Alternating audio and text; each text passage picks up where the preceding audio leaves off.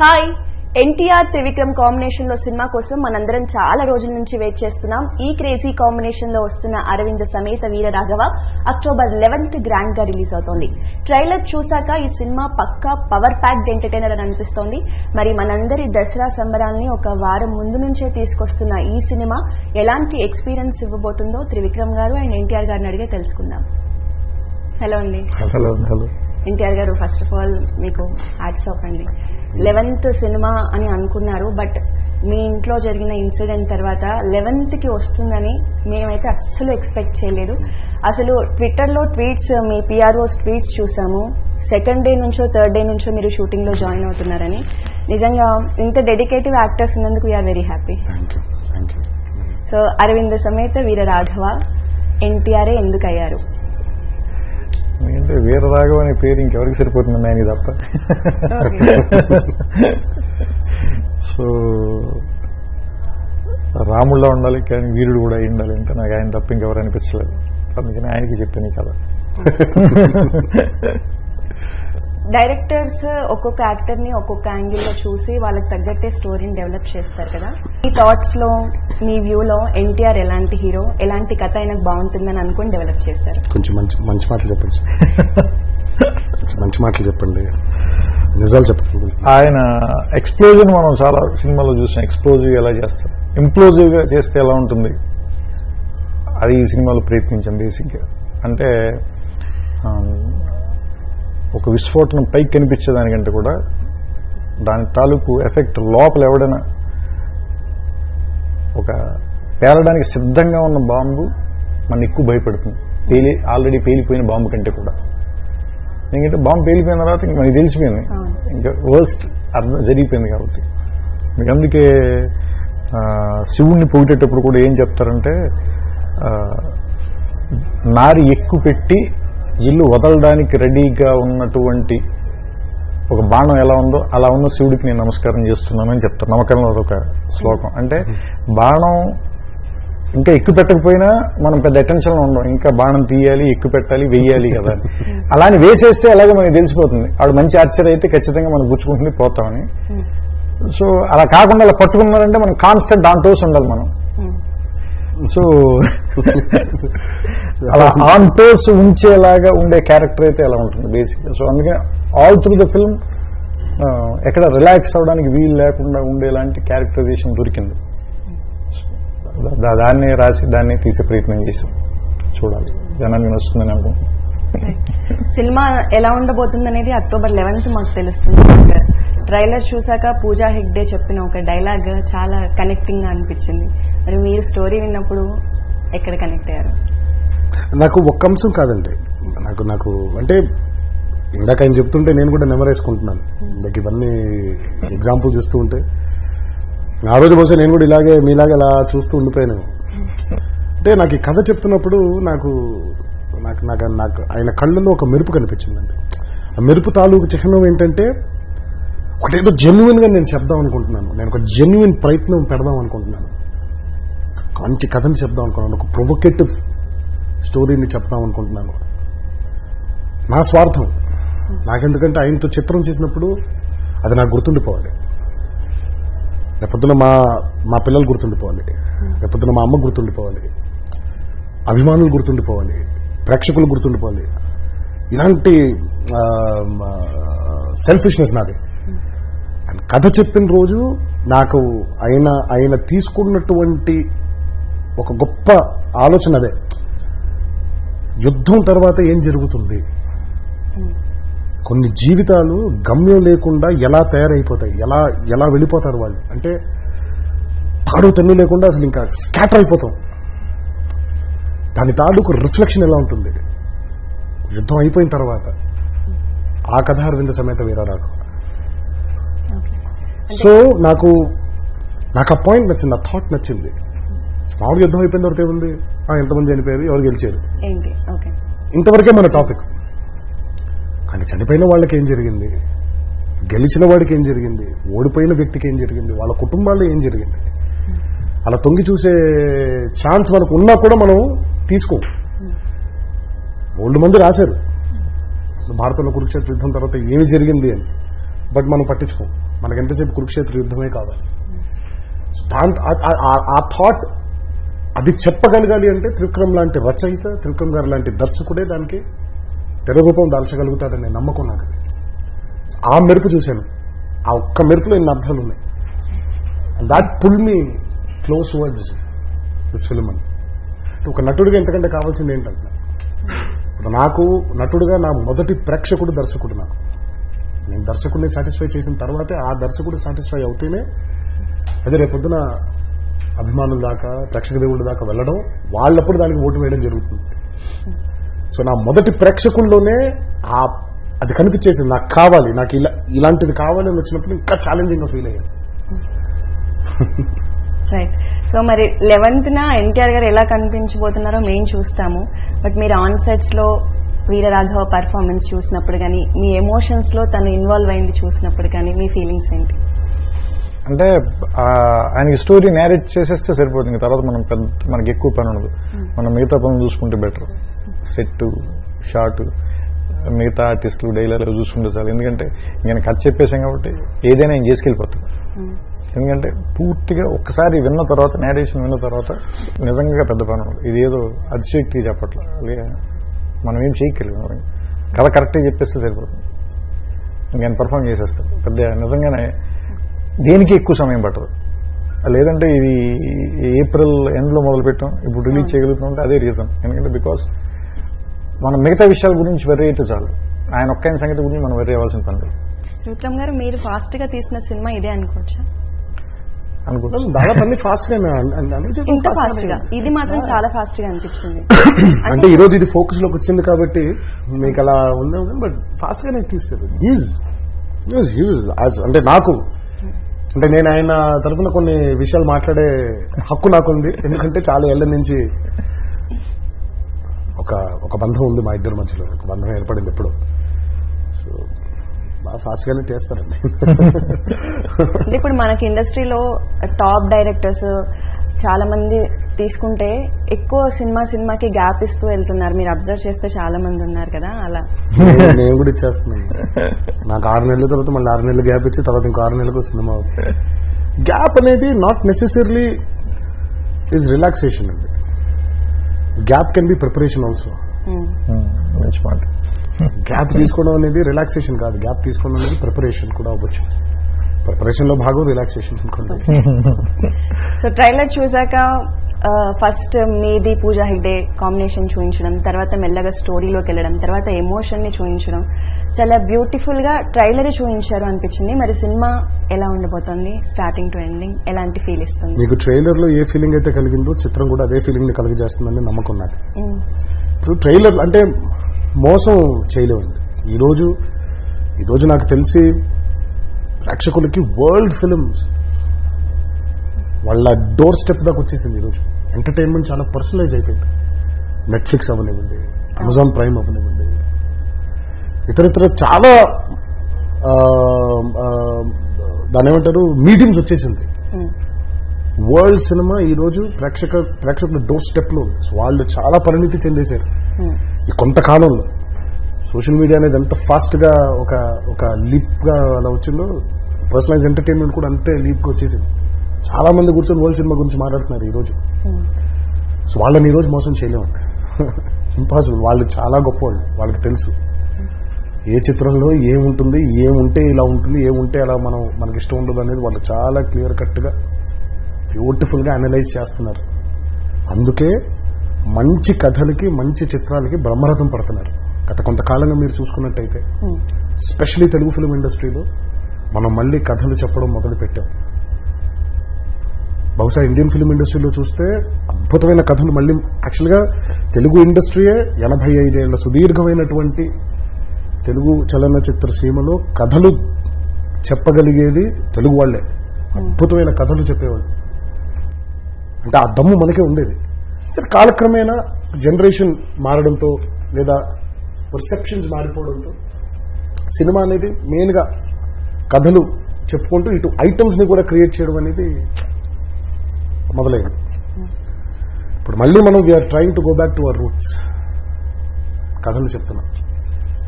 So మోసం ఎందుకు చేయలేమంటున్నానంటే సినిమాలో లేని ట్రైలర్ ఊరికి ఇమిడ్చలేం. అవును. అలాంటి ట్రైలర్లో లేనిది సినిమా లేదో చూపించిన అలా ఉండదు. ట్రైలర్ అనేది ఒక ప్రిల్యూడ్. చిత్రం ఎలా ఉండబోతుందో ఒక ప్రిల్యూడ్ లాంటిది. ఇలా ఉండబోతుంది. రెండున్నర గంటల సేపు ఉండే చిత్రాన్ని రెండున్నర నిమిషాలు ఒక ట్రైలర్ రూపంలో దాన్ని కట్ చేసి ఇలా ఉండబోతుంది అని చూపించాడు సో ట్రైలర్లో ఏ ఫీలింగ్ అయితే ప్రేక్షకులు గురయ్యారు ఏ ఫీలింగ్ అయితే వాళ్ళు గురయ్యారు చిత్రం కూడా అదే ఫీలింగ్కి గురవుతారని నమ్మకం ఉంది సాంగ్స్ జనరల్గా వినడం వేరు ఎంజాయ్ చేయడం వేరు బట్ ఒక ఎమోషనల్ బాండ్కి ఒక ఎమోషనల్ కనెక్టివిటీకి ఒక సాంగ్ మనల్ని క్రియేట్ చేయడం వేరు. పెనివిటీ సాంగ్ రిలీజ్ అయ్యాక ఆల్మోస్ట్ అందరికీ అది ఎమోషనల్గా బాండ్ అయిపోయింది. యాక్చువల్గా ఆ సిచ్యువేషన్లో ఉంది సినిమాలో మీరు. మేమందరం కాదు. కానీ మేమందరం ఆ సిచ్యువేషన్లోకి వెళ్ళి ఆ- సాంగ్ ఫీల్ అయినట్టు అనిపించింది. పర్టికులర్గా ఆ సాంగ్ గురించి చెప్పాలి. రూపకర్త అయినే కాబట్టి. అది అయినే దాని గురించి చెప్తే అందంగా ఉంటుంది. ఎందుకో తెలియదు కానీ కొన్ని పాటలు మనని చేపట్టుకు నడిపిస్తాయి. కొన్ని పాత పాటలు కావచ్చు హిందీ పాటలు కావచ్చు మనం కొన్ని తెలియకుండానే ఒక అంబియన్స్ క్రియేట్ చేస్తాయి. అంటే పాట ఊరికి కొన్ని మాటల్ని లేదా ట్యూన్ని దాటి మన జీవితంలోకి వచ్చేసి అది కూడా ఏదో చోట మన గదిలో ఆ, కబ్బోర్డు తర్వాత మనం బీరువా బెడ్ లాగా అది కూడా మన ప్లేస్ దాని ప్లేస్ అది ఎత్తుక్కుని సెటిల్ అయిపోతుంది. అలాంటి పాటలు చాలా ఉన్నాయి. తెలుగులో చాలా అద్భుతమైన పాటలు చాలా ఉన్నాయి. ఎవ్రీ టైం అండ్ అగైన్ అలాంటి పాటలు వస్తూనే ఉంటాయి. ఇది అలాంటి పాటల్లో ఇది ఒకటి అవడానికి మాత్రం major reason Thaman and Ramajoga Sastry garu. నేను సిచ్యుయేషన్ చెప్పిన వెంటనే తమన్ చాలా తక్కువ టైంలో ట్యూన్ చేశాడు ఒక లెస్ దాన్ వన్ అవర్లో చేశాడు. రామజోగ శాస్త్రి గారితో పదిహేను నిమిషాల పాట రాసేసాడు పూర్తి పాటని. వినగానే మాకు చాలా బాగుంది అనిపించింది అంతకుమించి మా మేము ఇది సూపర్ హిట్ అయిపోతుంది సార్. ఇది చూడండి అసలు ఐకానిక్ సాంగ్ అయిపోతుంది. ఇవన్నీ మేము చెప్పలేం కదా. నచ్చింది అందరికీ. అందరికీ ఎక్కువ మందికి నచ్చింది ఇప్పుడు రిలీజ్ అయిన తర్వాత. సో వీఆర్ హ్యాపీ యాక్చువల్గా ఇదేంటంటే బేసిక్గా నేను అనుకోవటం ఎక్కువ మందికి నచ్చడానికి ఇంకొక మేజర్ రీజన్ మేము అనుకున్నది ఏంటంటే ఫస్ట్ మేము అనుకున్న నావెల్గా ఉన్న థాట్ ఒక భార్య తాలూకు బాధని ఒక తల్లి తాలూకు బాధని ఒక కొడుకు పాడితే ఎలా ఉంటుంది? సో అంటే ఒక మగాడు ఆడదాని పాట పాడితే ఎలా ఉంటుంది? పెనిమిటి అని. అది మాకు కొత్తగా ఉంటుంది అనిపించింది అది అంటే కొంచెం అటు ఇటుగా జరిగితే ఇది కొంచెం తేడా తేడా జరిగే సిచ్యువేషన్ బట్ లక్కీగా దాన్ని వాళ్ళు యాక్సెప్ట్ చేశారు. థ్యాంక్స్ టు దెమ్ వాళ్ళు అదే అందుకే ఇందాక అన్నాను. ప్రేక్షకులు చాలా గొప్ప వాళ్ళు రైట్ మీ ఇంతకు ముందు లాస్ట్ సినిమా జైలవ కుషతో మిమ్మల్ని మీరు మూడు క్యారెక్టర్స్లో ఒకేసారి అభిమానులందరికీ ఐ ఫీస్ట్ అనిపించేలా యాక్ట్ చేసేసారు. మరి ఇప్పుడు ఈ సినిమా అంటే అక్కడ మూడు క్యారెక్టర్స్ చూసి వచ్చాం కాబట్టి చాలా ఎక్కువగానే ఎక్స్పెక్ట్ చేస్తాము. సో మరి ఎలా త్రివిక్రమ్ గారు మిమ్మల్ని చూపించబోతున్నారు? మీరు ఎలా ఎక్స్ప్లోర్ అవ్వబోతున్నారు? అంటే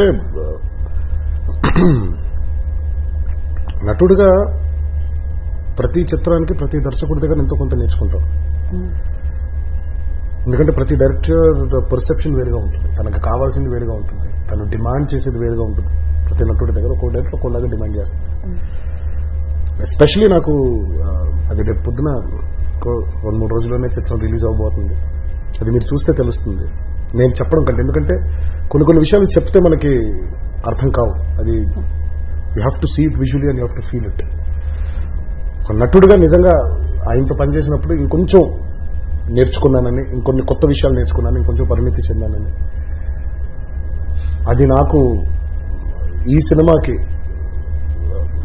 అది నాకు చాలా హెల్ప్ అయిందని. రేపొద్దున చేయబోయి ఇంకొన్ని ఇంకెన్నో చిత్రాలకి చాలా హెల్ప్ అవుతుందని. అంటే ఒక మనిషిలో ఎన్ని షేడ్స్ ఉండాలో అన్ని షేడ్స్ కూడా ఎక్స్ప్లోర్ చేసే క్యారెక్టర్ వీర రాఘవుడి క్యారెక్టర్. చాలా మంచి క్యారెక్టర్ రాశారు ఆయన. అద్భుతమైన క్యారెక్టర్ రాశారు. నాకు ఒక ఛాలెంజింగ్ క్యారెక్టర్ని ఇవ్వడం జరిగింది. బాగానే చేశాను అనుకుంటున్నాను.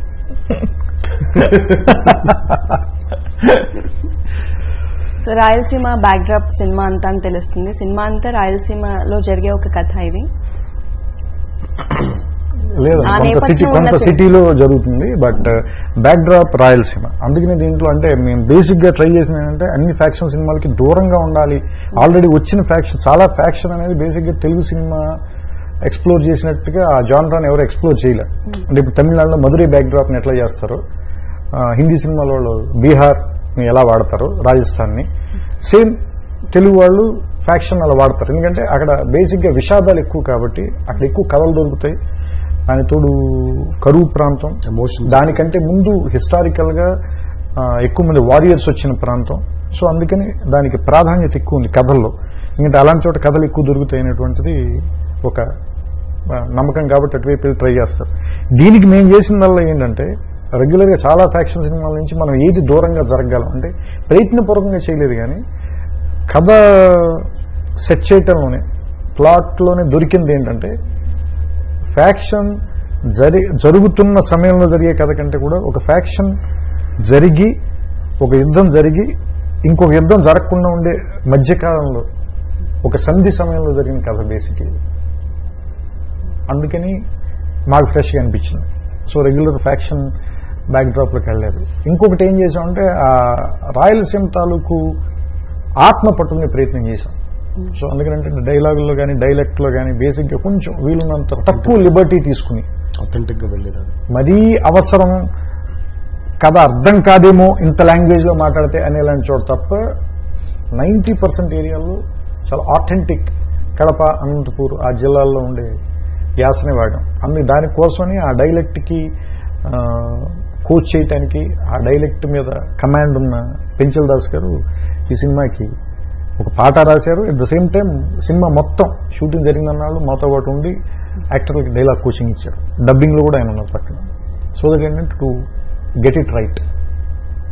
So cinema తీసే కోణం చాలా డైరెక్టర్స్ మీ పాయింట్ ఆఫ్ వ్యూలో ఎంటర్టైన్మెంట్ చేయడానికి తీయొచ్చు రకరకాల ఇంటెన్షన్స్తో తీస్తారు. బట్ ఈ- సినిమా ట్రైలర్ చూసాక ఏదో మంచి స్ట్రాంగ్ ఒక ఒక మెసేజ్ అవ్వచ్చు ఒక స్ట్రాంగ్ ఫీలింగ్ ఆడియన్స్ ప్రజల్లో చేంజ్ రావాలి అని ఏదైనా ఒక పాయింట్ చెప్పారా? అలా. మెసేజ్ ప్రయత్నించాలి యాక్చువల్గా. కథ రాసిన ఒక మెసేజ్ చెప్పాలి అని నేనేమి కథ రాయలే. బేసిక్గా ముందు ఈయన ఎంగేజ్ చేద్దామని కథ చెప్తాను ముందు. ఎందుకంటే ఆయన అన్నట్టు ఆయనకి మొదటి ప్రేక్షకుడు నేను ఎలాగో మానిటర్ ముందు చూసినప్పుడు అలాగే నాకు మొదటి ప్రేక్షకుడు ఆయన కథ చెప్పేటప్పుడు. సో ఆయన నేను గెలిస్తే నేను చాలా మందిని గెలగలని నమ్మకం వస్తుంది నాకు. సో అందుకని ఆయన ఎంత ఎంగేజ్ చేస్తాననే దాని మీద నేను నా నేరేషన్ ట్రై చేశాను. దాంట్లో భాగంగానే అంటే ఇప్పుడు కథ ఒకసారి సెట్ అయిన తర్వాత దాని దారిలో ఇది వెతుక్కుంటుంది. కథ కంచి ఆ, కథ కంచికి అంటారు కదా. అది బస్ ఎక్కెళ్ళాలో ట్రైన్ ట్రైన్ ఎక్కెళ్ళాలో. అలాగా. ఈ కథ వెళ్ళే దారిలో ఆ మెసేజ్ కూడా కుదిరింది అంతే. దాన్ని మేము పర్టికులర్గా చొప్పించడానికి ప్రయత్నించాలి అది వెతుక్కుంది చెప్తామంటే మాత్రం ప్రీచింగ్ అయిపోతుంది సో అది నేను కూడా నమ్మను. ఆయన కూడా అది అది కుదిరింది అంతే. ప్రీచింగ్ చేస్తే ఉందా? వెల్ ఓకే మంచిది. లేని మెసేజ్ని మనం కావాలని తెచ్చిపెట్టినా కూడా ఎబ్బటిగా ఉంటుంది. ఇన్ని రోజులు ఇప్పుడంటే మీరు త్రివిక్రమ్ గారి సినిమాలో హీరో అయ్యారు బట్ ఇన్ని రోజులు ఒక ఆడియన్ గానే ఆయన సినిమాలను చూస్తారు కదా. త్రివిక్రమ్ గారి సినిమాల్లో మీకు బాగా నచ్చేదేంటి? మూవీ కాదు. ఆయన డైరెక్షన్లో అవ్వచ్చు ఆయన కథల్లో హీరోలో. ఈజ్ ఉంటుందండి. మ్మ్. అంటే త్రివిక్రమ్ గారిలో ఒకటి అదే నేను లేకుంటే ఎక్కడో చెప్తున్నాను. ఒక పది మాటలు ఉండే చోట ఆ పది మాటల అర్థం ఒక మాటలో వచ్చేసేలా ఉంటుంది. ఈజ్ ఇప్పుడు ఇందాక చెప్పాను చూడండి. మెసేజ్ ఎవరికైనా ఇవ్వాలంటే రెండు రకాలు. కూర్చోబెట్టి బెత్తం పట్టుకుని ఇది చేస్తావా? తీసుకుంటావా లేదా? ఇది ఇంతే లేదా కూర్చొని చెప్పి చెప్పి చెప్పిందే చెప్పి ప్రీచింగ్ అంటారు అదే కూర్చోబెట్టి సరదాగా దా కొంచెం కాఫీ తాగుతుందా కొంచెం కూర్చొని దా భోజనం చేద్దాం. ఇంకేంటి కబుర్లు? అందరూ ఉన్నారు ఇంట్లో? ఈ ధోరణిలో సరదాగా అలా మాట్లాడుతూ మాట్లాడుతూ చెప్పడం ఇంకో సో అంత ఈజీగా ఉంటుంది. ఆయన ఫిల్మ్స్ అన్ని చూడండి. చాలా భయంకరమైన ఎమోషన్ని కూడా చిన్న ఈజ్తో పెద్ద ఎక్స్ప్రెషన్ ఒక పెద్ద ఎమోషన్ కూడా కన్వే చేసేయగలిగే సత్తా ఉంది. చిత్రాలన్నింటిలో నాకు బాగా నచ్చిన అంశం ఆయన మీరు అన్నట్టు ఎమోషన్ ఎంత బాగా చెప్పగలరో హ్యూమన్ని కూడా చాలా చిన్న చిన్న డైలాగ్స్తో ఎక్కువ మంది కమిడియన్స్ పెట్టి హడావిడి చేసేయకుండా చాలా క్యూట్గా ఉంటుంది. మరి మీరు ఎలా ఈ సినిమాలో అలాంటి ఎమోషన్స్ మీకున్నాయా? మీ దగ్గర నుంచి ఎక్స్పెక్ట్ చేయొచ్చా? హ్యూమర్ అది త్రివిక్రమ్ గారి చిత్రంలో ప్రతి చిత్రంలో ఉండే హ్యూమర్గా ఉంటుందండి. కానీ కథకి మించిన హ్యూమర్ ఎప్పుడు నేను ఇష్టపడను. స్వతహాగా నేను ఇష్టపడను. ఊరికేదో ఒక ఐటమ్ లాగా చేసేయడానికి ఇష్టపడను. సడన్గా కథ ఎక్కడో వెళ్ళిపోతుంది ఆ మధ్యలో ఏదో చిన్న బ్రేక్ కావాలి కాబట్టి ఎవరో సడన్గా బస్సు నుంచి దిగేసి హ్యూమర్ చేస్తే నేను ఒప్పుకో నాకు నచ్చదు అది. మీరు ఆయన చిత్రాలు చూసుకుంటే ఆయన కామెడీ ఐ మీన్ నా హ్యూమర్ కూడా it's all story driven so కథలో ఒక భాగంగా మారి కథని ముందుకు తీసుకెళ్ళేది అవుతుంది తప్ప ఊరికి కథను మధ్యలో కూడా ఆపేసి ఇక్కడ చేసేద్దాం అన్నట్టుగా ఉండదు. సో ఈ చిత్రంలో కూడా కావాల్సినటువంటి త్రివిక్రమ్ గారి మార్క్ ఏదేదైతే కావాలో అవన్నీ దంచి వడ్డించి పెట్టాడు దసరాకి విందు భోజనం. తప్పకుండా అరవింద సమేత వీర రాఘవ అని టైటిల్ విన్నప్పుడు నోటికి చాలా నిండుగా చాలా అందంగా అనిపించిందండి.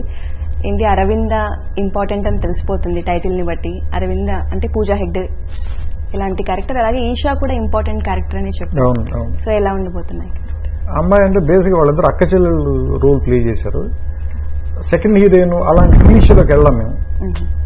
అంటే బేసిక్ గానే అసలు సినిమాలో పాటలు అంటే నాకో పాట ఉందా నీకో పాట ఉందా అలాంటివి లేవు అసలు బేసిక్ ఈ సినిమాలోని.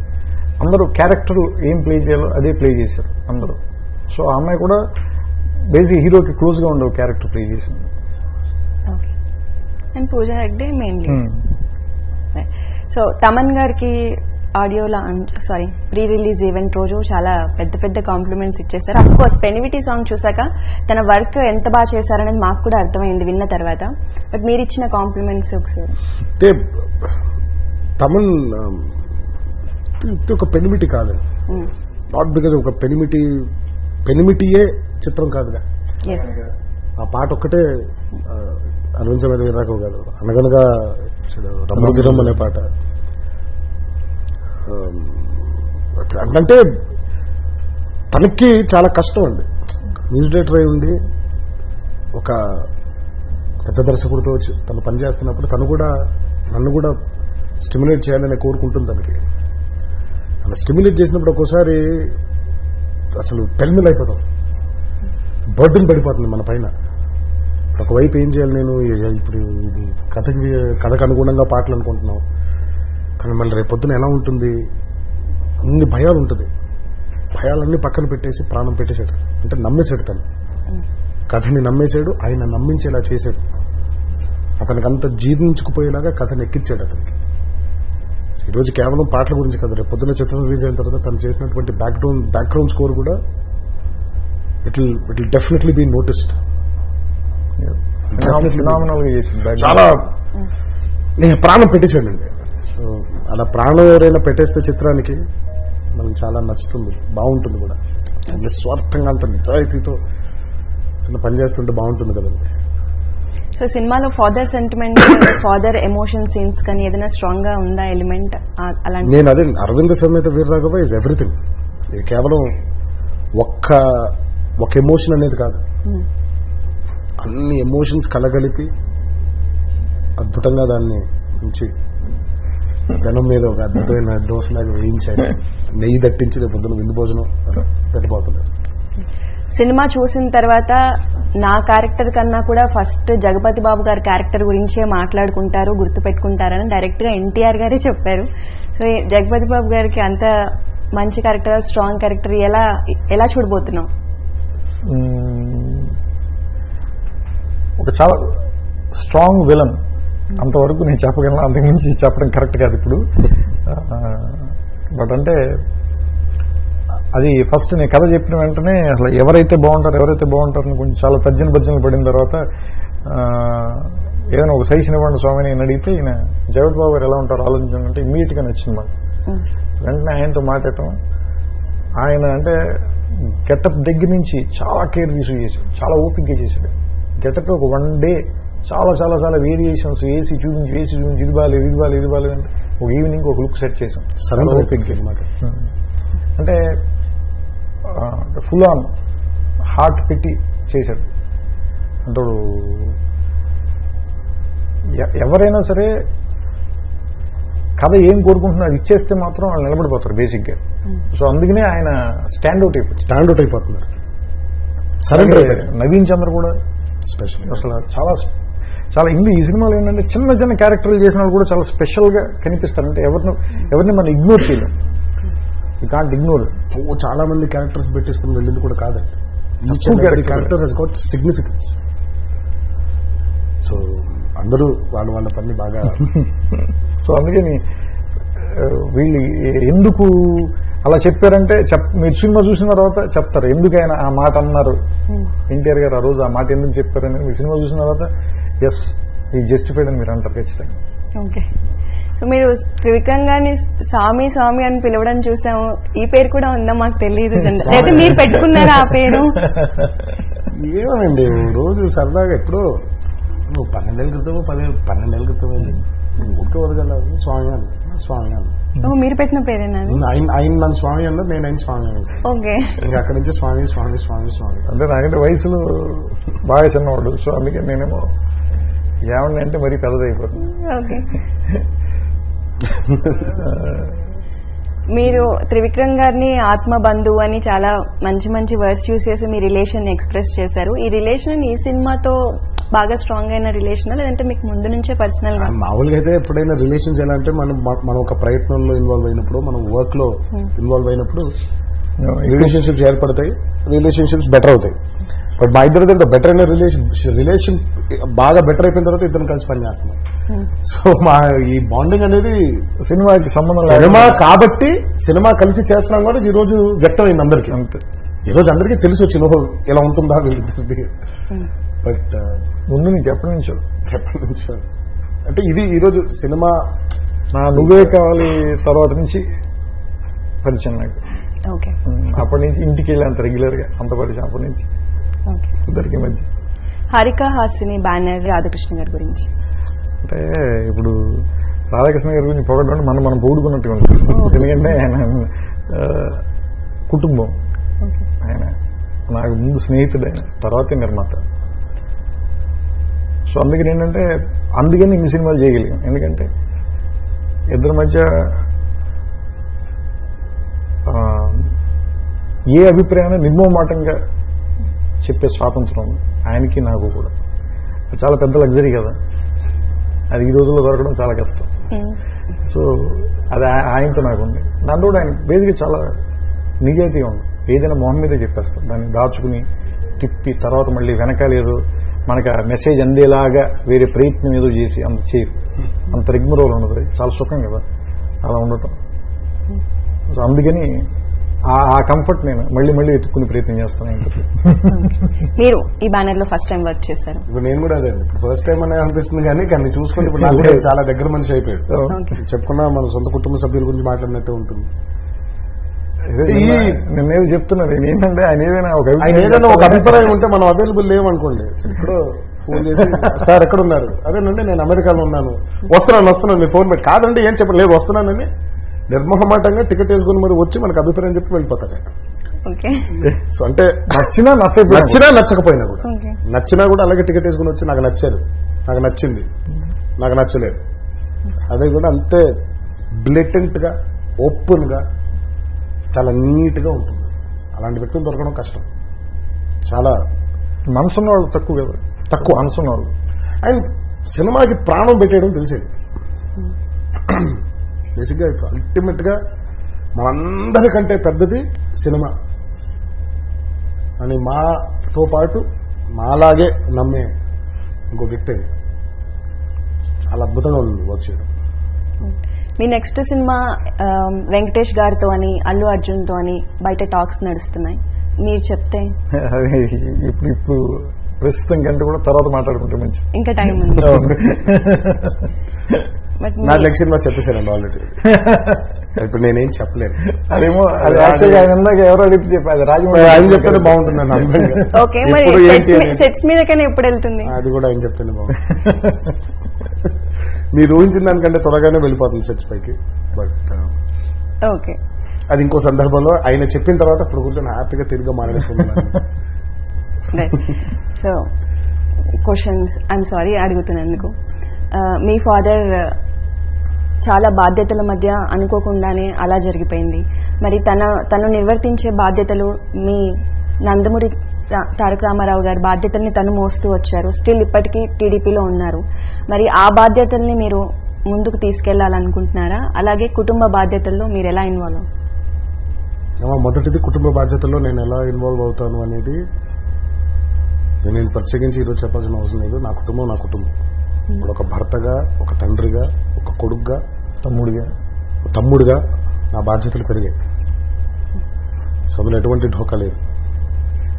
కుటుంబాన్ని ఒక మనిషి ఎలా చూసుకోవాలో అలా నా కుటుంబాన్ని చూసుకుంటాను నంబర్ టూ నాన్నగారు పోయి నెల కూడా కాలేదు. ఆ గాయం ఇంకా చాలా పచ్చిగానే ఉంది. నిజం చెప్పాలి అని అంటే. మేము సమయం కూడా ఇవ్వలేదు. సినిమాకు ఒక న్యాయం ఉంటుంది కాబట్టి అది నాన్నగారు ఎప్పుడు నమ్మారు కాబట్టి ఈరోజు ఇలా కూర్చొని ఈ ఆ భాగంతో ఆ భాగంలో వచ్చి కూర్చొని మీతో ఇలా మాట్లాడడం కానీ మరి నాకు నిజంగా చాలా లోపల చాలా చాలా మర్థం జరుగుతుంది. నేను ఇప్పటిదాకా నాతో నేను కూర్చొని ఇంకా నేనేమి అనుకోలేదు ఏమి మాట్లాడుకోలేదు కూడా. నాన్నగారు పోయిన తర్వాత.